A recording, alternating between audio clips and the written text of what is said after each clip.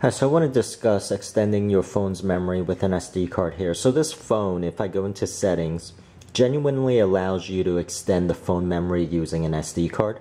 So not all phones do this. If, if I go under settings and I go to my apps here, you'll notice if I choose the menu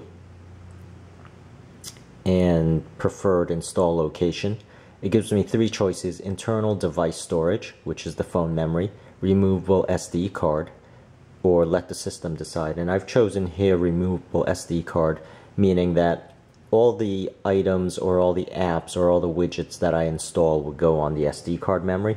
Now, not all phones allow you to do this. In my previous other couple of phones, uh, the it has an SD card. I could put an SD card in the phone, but I can only store data on the phone and not the apps itself. So uh, in this phone, it's a little bit different. It actually allows you to completely put apps on the phone. Now, you don't always want to put every app on the phone. For example, I have apps that I use very frequently, and it is the locker screen and the application launcher. So this Go Launcher Z and Go Locker I use constantly.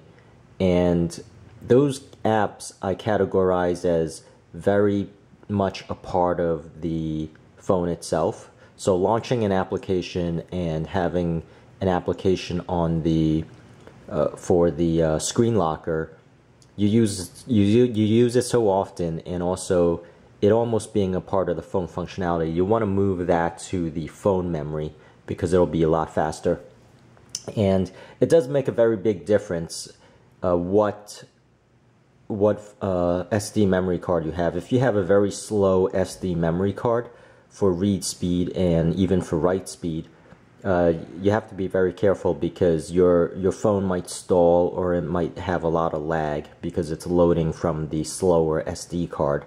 So, but if you look at uh, all the applications that I've put on the SD card, for example, you'll see I can move this to the phone memory. Um, in, in which case right now it's in the SD card memory. So, uh,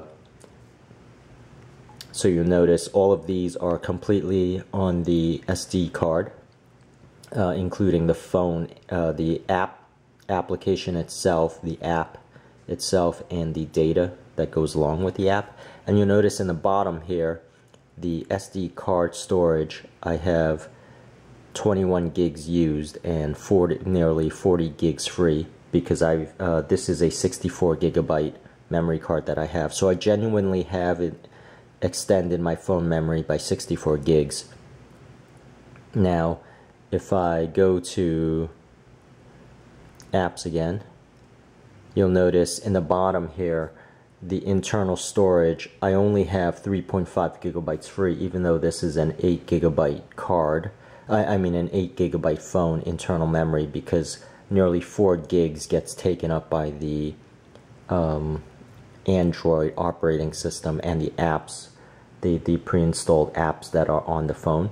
So uh, it's definitely important when, when you're choosing a phone that you get basically a phone that can actually extend the entire phone memory. So that's really it and uh, I hope this video helps you and thank you for watching.